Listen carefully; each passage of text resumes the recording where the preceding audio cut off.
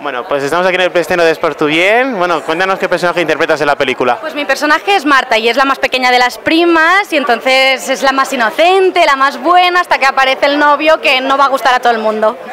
Esta comedia, bueno, va dirigida sobre todo de suegros y yernos. ¿Qué papel tiene aquí la, la novia en este caso? ¿Qué papel tiene?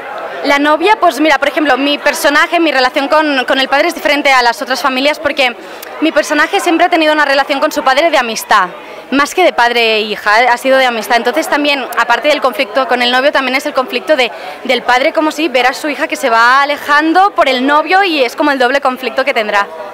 Sí, bueno, es, cuesta en este caso dejar a la hija sola, ¿no?